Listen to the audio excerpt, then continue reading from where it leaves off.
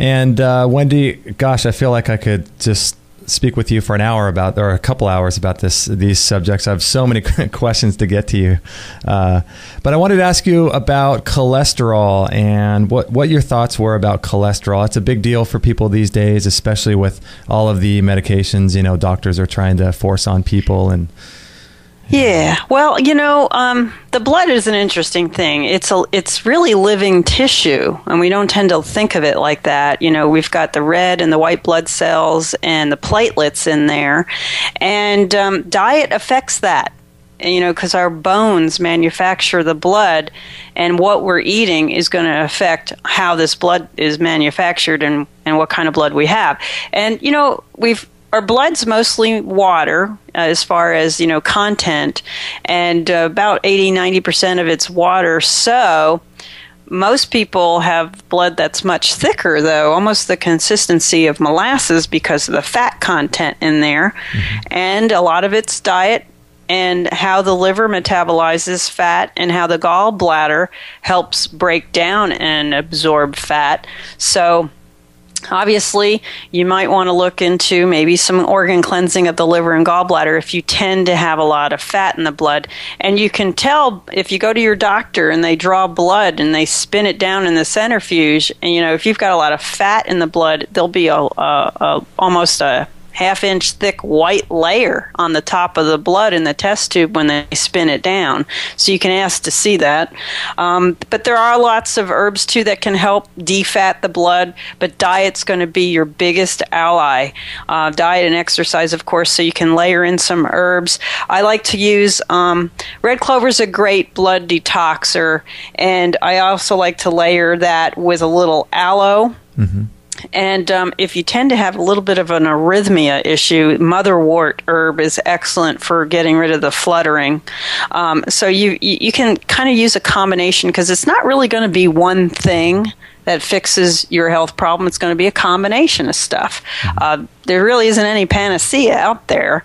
Um, now, of course, the ancients thought you know, ginseng was the panacea, and actually it's known as the panax, which means panacea in the Greek. So, uh, but you know, you have to layer in some of your things. Just don't think one one thing you're doing is going to fix it all. You have to do a combination of stuff. Yeah, I hear you because it's never just one, you know, one cause or one cure. And uh, it's interesting that the cholesterol issue is such a huge deal, and it's really kind of scary for people because you know their doctors you know, will almost you know get angry with with a, a, patient if they don't take their medication or you know once you do take your medication then you're almost kind of uh, forced into you know continual usage because the doctor will, really well, get on people yeah, well, cholesterol is necessary. Okay, not all cholesterol is bad, and unfortunately, when you remove uh, a lot of cholesterol with these drugs, you wind up uh, literally having a lot of these uh, cells of the body fall apart because uh, just about every area of the body taps into cholesterol to use it, hormones and everything. Um, I think one of the best descriptions for um, the the cholesterol and um, the anti-cholesterol drugs was in um, a book called Over the Counter Natural Cures by Shane Ellison. So if you want to, if you're on any of those cardiovascular, anti-cholesterol, blood pressure medicines, his book will explain what you're in for down the road.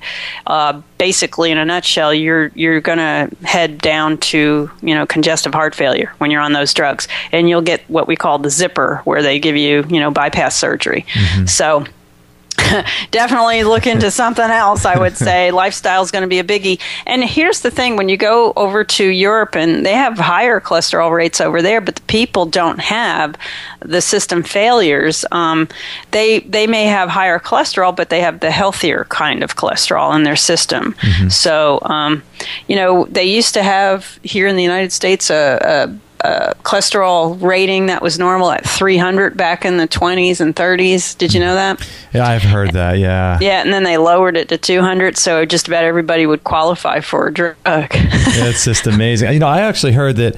Uh, you know, they're trying to get people down to 120, and I think that you need. Correct me if I'm wrong. I believe that your body can't even make hormones unless your cholesterol is at least 150. Now, I don't know if right. that's is that right? Yeah, you're close. Yeah, uh, that's what I'm saying. Um, like I said, Shane Ellison's a chemist. He used to work for the pharmaceutical companies. He'd be a great guest if you haven't talked to him lately. He wrote a book, like I said. I had him on my show, and it's just he has a great way of explaining the chemistry of it all in layman terms, so that you can wrap your brain about what's happening to you when you take those type of drugs. Oh, that'd be great. Mm-hmm.